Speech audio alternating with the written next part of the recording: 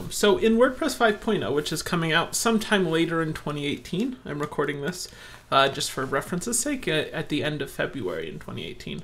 Um, WordPress is getting a new visual editor, so you're probably used to this kind of um, experience of the editor um, where you've got this kind of toolbar and it's like a box and that kind of thing. Well, Gutenberg is going to improve that and make it a little different. I'm going to move this post to the trash. Um, uh, and the way to get that experience before WordPress 5.0 comes out and contains it um, is to go to plugins and add new, and you're going to add a plugin called Gutenberg. Um, this is a kind of common uh, thing that WordPress has done where you have a plugin that will be included into core at some future point, uh, and Gutenberg is an example today. Um, so I'm going to install and activate the Gutenberg plugin. And what that has done is a couple things. The biggest one is it's given me this Gutenberg thing down here. When this is in core, uh, this menu that I've got right here will go away, but for right now, it's a great way to quickly give feedback on Gutenberg and um, to go and uh, kind of try it out. So the demo of Gutenberg kind of gives you uh, a pre-built post that includes some of the cooler features of the Gutenberg editor, like the way that this image has kind of broken out of the containing column of content. And the way that this text is right aligned while the ones above and below are independent blocks, which are normally or left aligned.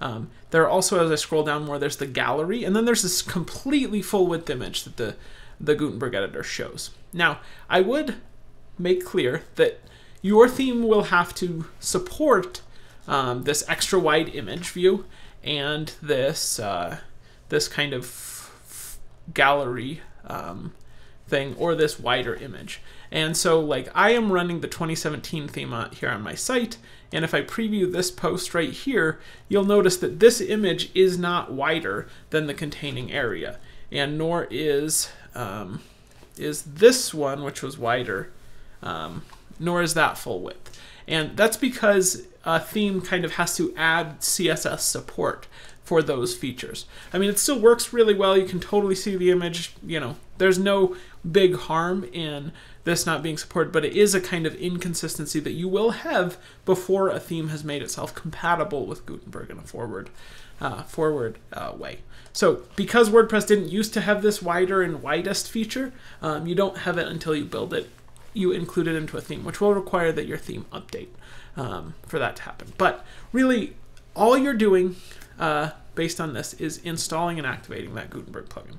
So you can see the demo. And the other thing that's neat is that you can use on any of your posts, you can use the classic editor or the edit slash Gutenberg mode. Um, while Gutenberg remains a plugin. And so if you've got existing content and you jump into editing it in Gutenberg, you'll sort of see the transition experience. And if you've got content uh, that you need to edit in the old way, you can just click on Classic Editor. Um, if you're if you try out Gutenberg and are like, I want to never have Gutenberg, there is actually a plugin um, for that called Classic Editor that you can use.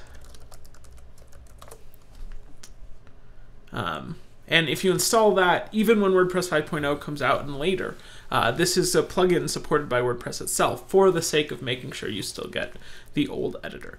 Um, so that's kind of the way you should try out and get ready, start to get ready for Gutenberg. Um, there, Gutenberg has lots of features that I'm not going to go into at this instant, but that's how you can kind of get it installed and play with it, which is going to get you a lot farther than reading endless articles about it anyway. All right, cheers.